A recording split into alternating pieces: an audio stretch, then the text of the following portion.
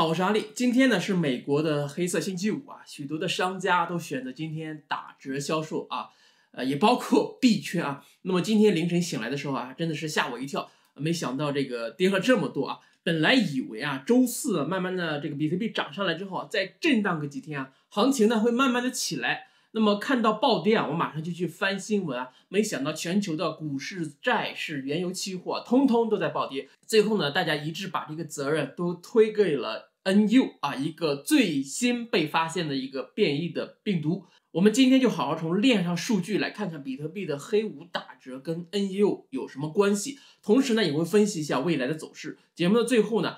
哎，我还会简单的跟大家介绍一个同样叫做 NU 的这个币，那么你可以自己去决定啊，趁着打折，呃，是否选择去这个埋伏进去。好，我是阿力，如果你是第一次打开我的视频，我的频道呢是专注于加密货币的投资，希望你能够点击订阅，让我们一起见证这个新世界的浪潮。首先呢，我试着跟大家一起来摸索一下暴跌的最主要的原因是否真的是这个病毒引起的啊？大家可以自行判断。来判断一下我说的对不对，一起来学习一下这个过程啊，怎样从一件事的表面看到这件事情的本质。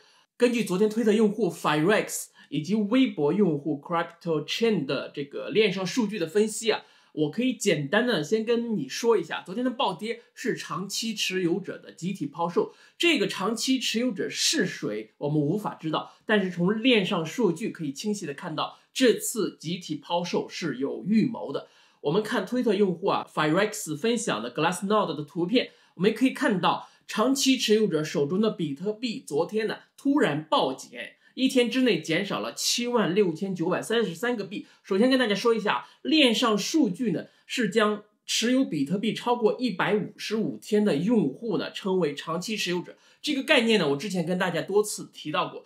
大家接着来看下面这张图片啊，我们可以看到原来。长期持有者是一直变化不大，那么在昨天呢是一个历史性的变化。根据 Firex 的判断呢，这是市场即将爆发的前兆。接着我们看下一张图片啊，短线持有者持有的币增加了十一万四千九百七十七个，这也是一个征兆啊。那么说实在话，只看前面的这几个图片呢，很多朋友是不能理解为什么长期持有者减持。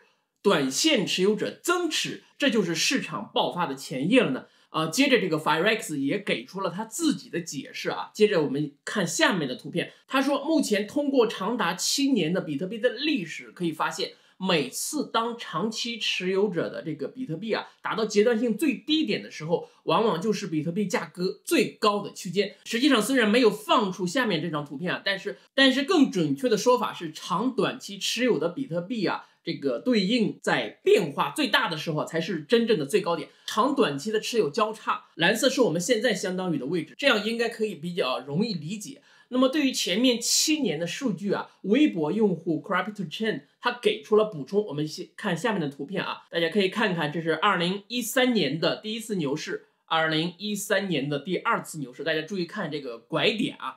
那么二零一七年，然后是二零二一年的第一次牛市啊，我们就是说上半年的这个牛市。然后呢，就是我们目前所在的位置。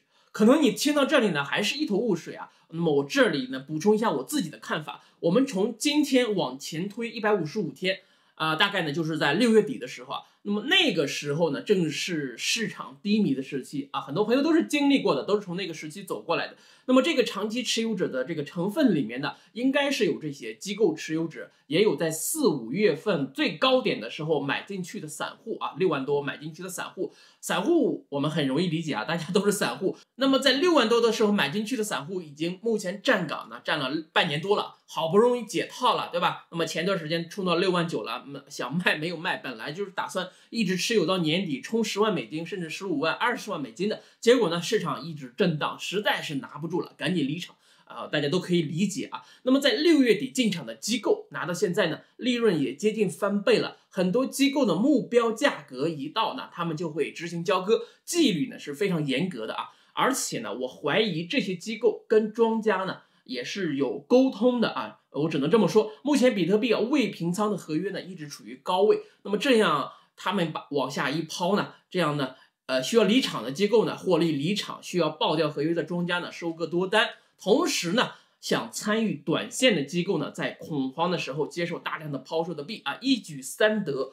啊，以上呢是根据这些链上数据以及结合我自己的分析得出的结论啊，大家可以看得出来，完全跟变异的病毒没有关系。但是为什么变异的病毒 NU 背上了黑锅呢？那么这也是我今天想跟大家分享的一点啊。一直以来，我们的媒体啊，以及很多朋友都会在事情发生之后，按照自己主观的逻辑去寻找一个理由，好像呢没有理由就无法交差。啊，但是呢，往往就是这种着急呢，去寻找原因，目的性太强，人们呢就会事后诸葛亮，把原本没有逻辑性的两件事情强行的扭在一起。呃，非常有意思的是，这么扭在一起呢，看起来还真能说得过去。但是呢，这个说得过去呢，就是百分之九十九的人的思维的惰性啊，因为思考真的很费体力，很伤脑筋。那么我们回过头来总结一下，媒体着急向老板交差。那么大家呢不愿意自己去寻找这个答案，双方呢一拍即合，皆大欢喜。我们从小接受的教育呢，经常告诉我们要线性思考，比如说由于 A 导致了 B，所以一出现 B 呢，大家就觉得 B 有 A 发生了。那么这个思考呢，并不是正确的啊。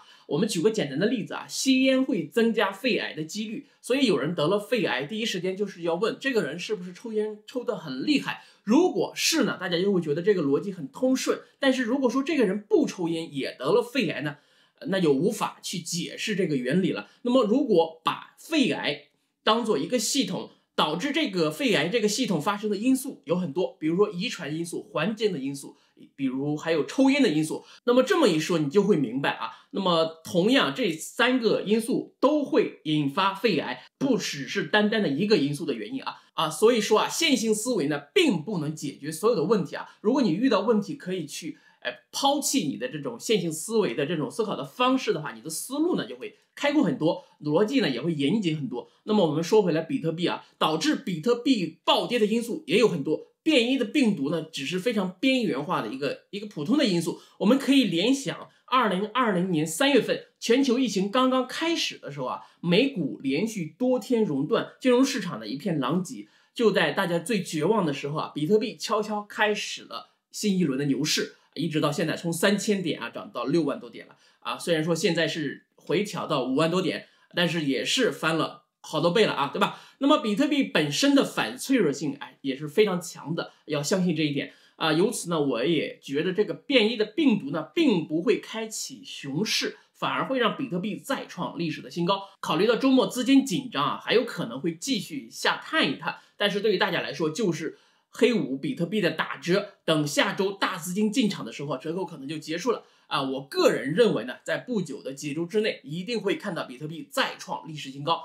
啊，另外呢，这个在南非发现的变异的病毒啊，被命名为 NU，那么这也是我最近跟大家推荐的一个币的名字啊。那么这个币，这个 NU 币呢，是做区块链密钥管理系统的，英文名字叫做 New Cipher，呃，KMS。那么 KMS 就是 Key Management System，它的缩写，代币的简称呢是 NU，你可以称作为 NU 或者是 New 都可以。那么这个币为什么好？为什么要推荐它呢？到底是做什么的？我今天就先简单跟大家讲一讲，后面有时间的话，系统再跟大家来做视频讲解。我们很多朋友啊都用过 Windows 系统，那么在每次更新的时候，都需要一个一一长串的这个密钥。那么这个密钥呢，就是 KMS 这个系统产生的密钥。New Cipher 所做的事情呢，就是将区块链的数据加密打包发送。啊，它最主要的应用的领域呢，多半是对数据需要保护，或者是对访问权限进行管理的地方。基本上有以下五个方面的应用场景啊。第一个就是共享加密数据，第二就是端到端的加密群聊，那么第三个呢就是医疗信息的保护，第四就是数字版权的管理，第五就是企业权限的管理。好，以上呢就是先简单的跟大家介绍一下 NU 这个币啊。如果本期视频点赞超过一千，我会快速呢做一期详细讲解的视频，就像上次介绍 Chainlink 一样。好，以上就是今天节目所有的内容了，希望能够带给大家一些思考。我也会持续不断的创作更好、更有价值的内容，希望你能够点赞、转发、加订阅，让我们一起进步，共同发财。Peace。